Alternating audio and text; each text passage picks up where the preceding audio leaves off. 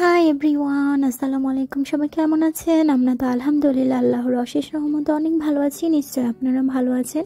তো এই তো আজকে চলে আসছি আমার জীবনের নতুন আরেকটি অধ্যায় নিয়ে। তো আজকে ফুচকা খাব আর আপনাদের সাথে শেয়ার করব না, তাই কি হয়? তো এই তো ফুচকা আমাদের মা ছেলের অনেক পছন্দ। তো এই তো দেখছেন ছোলা মানে ছোলা না সরি এটাকে মটর ডাবলি বলা হয়। তো সেটা আমি মানে পানি দিয়ে ভিজে রেখেছিলাম তিন চার ঘণ্টা। তো এটা আমি সেদ্ধ করে নিব।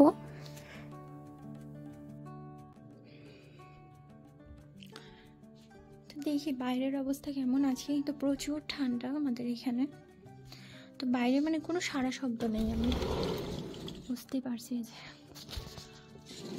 রাস্তায় কোনো গাড়ি নাই। আসলে এত ঠান্ডায় মানুষ কীভাবে থাকবে? মোরগটাকে কোথায় জানি। এত শীতে কেউই মানে থাকবে না আসলে। এত ঠান্ডা, প্রচুর ঠান্ডা বাইরে।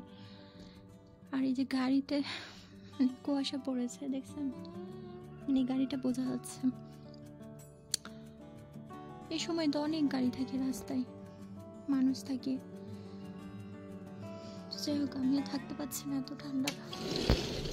তো এই তো মানে ওইদিকে আমি হচ্ছে চটপটির ডালটা সেদ্ধ করতে দিয়েছি। আর এটা রাত্রের সময়, রাত্রেই আসলে খাব। তো রিয়াদ, আমার ছেলে না মানে চটপটি ফুচকা এগুলো অনেক পছন্দ করে, কিন্তু রিয়াদের বাবাও খায় না, আমার আব্বুও তেমন একটা খায় না। তো রাত্রে আমরা মানে মা ছেলে মানে চট সরি ফুচকা খেয়েছি। তো এই তো এগুলো হচ্ছে ইনস্ট্যান্ট ফুচকা। দেশ থেকে আমার মা পাঠিয়েছিল। তো আসলে বাসায় তৈরি করা অনেক ঝামেলা। বাচ্চা কাচ্চা নিয়ে আর মানে ইচ্ছা করে না সব সময় তো এই তো মানে বাসা এগুলোই ভালো আমি মনে করি। সবসময় মানে ভেজে নিলে হয়ে যায়। তো বাসায় আমি এর আগে তৈরি করে করে খেয়েছি। এখন তো আমার মাই দেশ থেকে পাঠিয়ে দেয়। তো এই তো এর মাঝে একটা রিকোয়েস্ট আপনাদের কাছে। যারা আমার ভিডিওটা এখন পর্যন্ত দেখছেন প্লিজ আমার চ্যানেলটি যদি সাবস্ক্রাইব না করে থাকেন, অবশ্যই চ্যানেলটি সাবস্ক্রাইব করে আমার চ্যানেলের সাথেই থাকবেন। লাইক কমেন্ট করে দেবেন।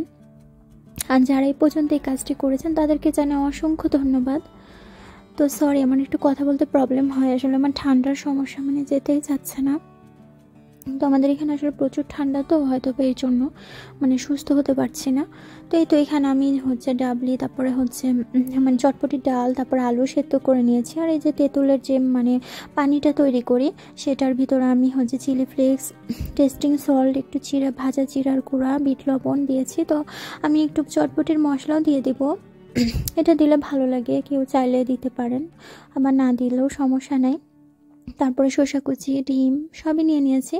তো মানে আমি না পেঁয়াজ কুচি আর কাঁচামরিচ কুচিটা মানে দেখানো হয়নি স্কিপ হয়ে গেছে।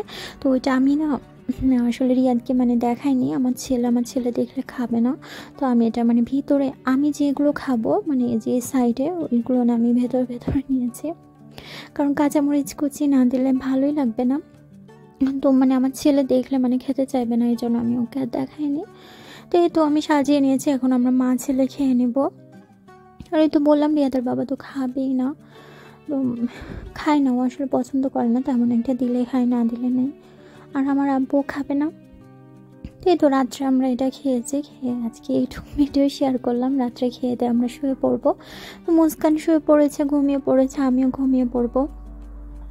তো মুস্কানকে আজকে ঘুমের মধ্যে দেখালাম। তো ভিডিও আমি এ পর্যন্ত আজকে রেখেছি, ছোট্ট ভিডিও আমার। তো সবাই ভালো লাগলে অবশ্যই আমার চ্যানেলের সাথে থাকবেন। তো সবাই ভালো থাকবেন, সুস্থ থাকবেন। আসসালামু আলাইকুম, আল্লাহ হাফেজ।